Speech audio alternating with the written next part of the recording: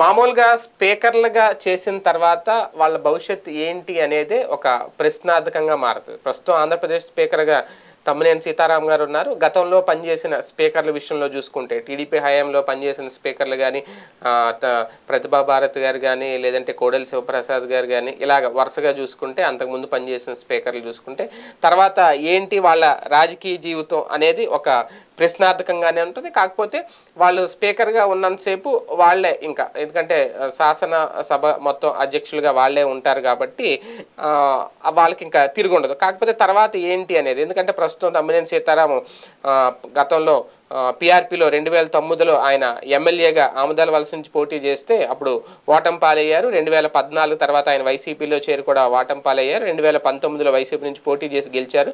ఆయన వాస్తవానికి మంత్రి కావాలని అనుకున్నారు కానీ రాజ్యాంగబద్ధమైన పదవి ఇచ్చారు స్పీకర్గా జగన్మోహన్ రెడ్డి గారు ఆయనకి.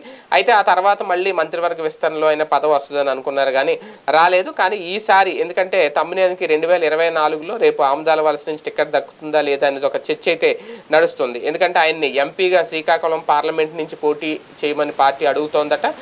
మరి దానికి సుముఖంగా ఉన్నారా లేదా అనేది కాకపోతే ఈసారి ఒకవేళ ఆముదాల వలస నుంచి సీట్ ఇచ్చిన గెలిచే అవకాశాలు లేవు అని కొన్ని సర్వేలు చెప్పడంతో ఆయన పక్కన పెట్టే అవకాశం ఉంటుంది అనేది ఒక ప్రచారం. అంటే ఒక రకంగా ఎంపీగా బరిలోకి దిగడం అంటే ఒక టఫ్ జాబే.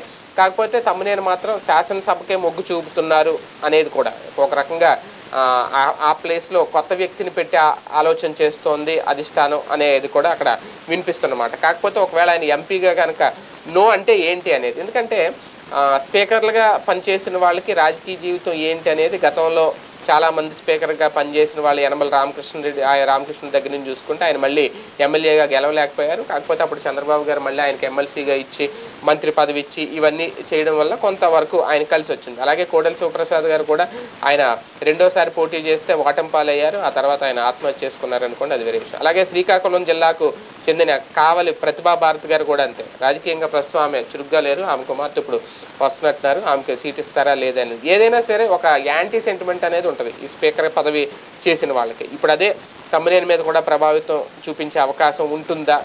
సర్వేలు కూడా అదే చెప్తున్నాయా? అనేది ఇప్పుడు చర్చ అక్కడ ఎక్కువ శ్రీకాకుళంలో జరుగుతుంది. ఏది ఏమైనా స్పీకర్గా పనిచేసిన తర్వాత వాళ్ళ రాజకీయ భవిష్యత్తు ఏంటనేది ఒక ప్రశ్నార్థకంగానే మిగులుతుంది. ఆ యాంటీ సెంటిమెంట్ ఈయన మీద కూడా చూపిస్తుంది అనేది ఒక చర్చ.